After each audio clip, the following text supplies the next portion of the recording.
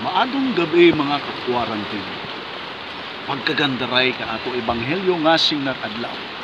Hingga kita it-apat nakpuntos adong masiguro nato naksurbol ka ato panalangin. Kung itahapon kailangan ka pananambalataya ngasing narugangan pa kato. Pagkabali nakmodelo kag kapitan. Bagamat siday pagano kag unang ruhang pointers nato. First is care. Sida ay nagmamalasakit sa ida katulong.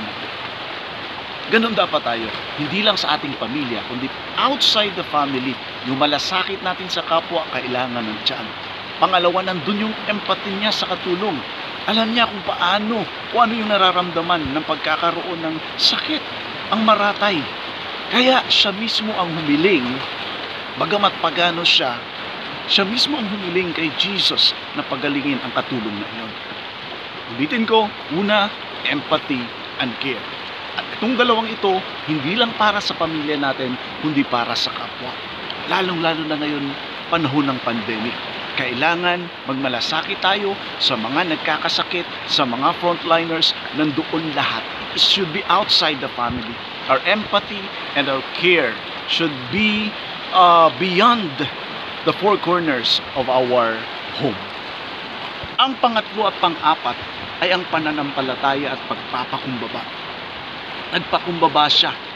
Sinabi niya hindi karapat dapat na pumunta sa bahay ng kapitan si Jesus dahil alam ng kapitan na siya ay pagano. Nandun yung pagpapakumbaba. Kung humihiling tayo sa ating mahal na Panginoon, kailangan magpakumbaba tayo dahil ba't ba tayo ng kasalanan?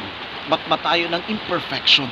At kailangan nandun yung kababaang loob. At syempre, ang panghuli ay ang pananampalataya, faith. Hindi mawawala yun. Kahit sa Ebanghelyo kahapon, kailangan nandun yung pananampalataya na niwala ka agad yung kapitan sa bagamat siya'y pagano na pagagalingan ni Jesus ang kanyang katulong. So ang apat na formula na yun is empathy, care, faith, and humility. Pag meron tayo nito, sure ball. Diringgin ng Diyos ang ating mga panalangin. Doon na lamang po at magandang gabi mga kakwarantin.